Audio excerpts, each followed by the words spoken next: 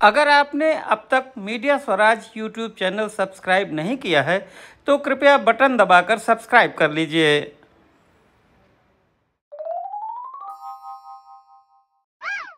नमस्कार, मैं लखनऊ से रामदत्त त्रिपाठी।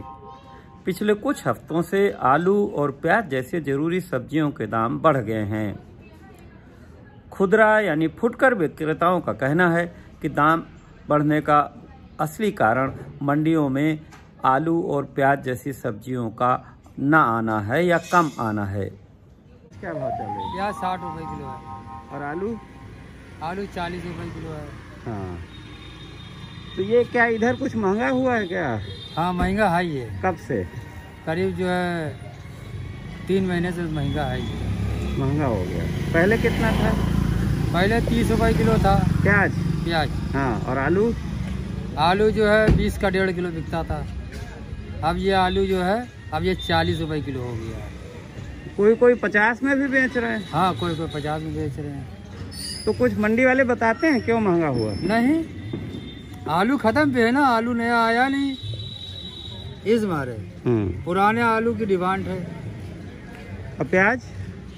प्याज जो है इस समय साठ रुपए किलो है प्याज। तो क्यों महँगी हो गई? प्याज खत्म पे है ना पुरानी प्याज है ही नहीं नई प्याज पैदा नहीं इस मारे जो है क्यों नहीं पैदा हुई? ये आ ही नहीं रही मंडी में तो मद्दी कहाँ से हो? प्याज का पोषण जो है बहुत इस समय खराब है। मंडी के लोग यह बताते हैं कि प्याज और आलू इसलिए नहीं आया क्योंकि बारिश की वजह से माल खराब हो गया। लेकिन असली वजह ये नहीं है जानकार लोग बताते हैं कि असली वजह जमाखोरी है। आपको याद होगा कि पिछले कुछ महीने पहले केंद्र सरकार ने आवश्यक वस्तु अधिनियम में संशोधन करके सामान को जमा करने की सीमा बढ़ा दी थी। इसकी वजह से अब व्यापारियों पर कोई अंकुश नहीं है, वो चाहे जितना माल अपने भंडारण में रख सकते हैं। जानकार लोगों का कहना है कि वास्तव में दाम बढ़ने का कारण जमाखोरी है।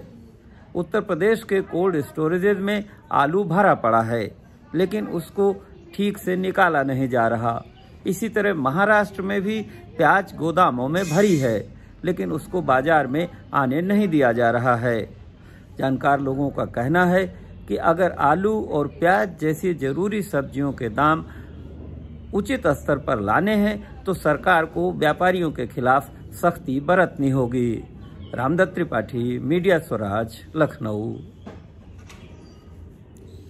सुनने के लिए शुक्रिया। पसंद आया हो तो कृपया लाइक करें और मित्रों से शेयर भी करें। अपनी टिप्पणी लिखें और नियमित वीडियो अपडेट पाने के लिए मीडिया स्वराज यूट्यूब चैनल को सब्सक्राइब भी करें। जय जगत।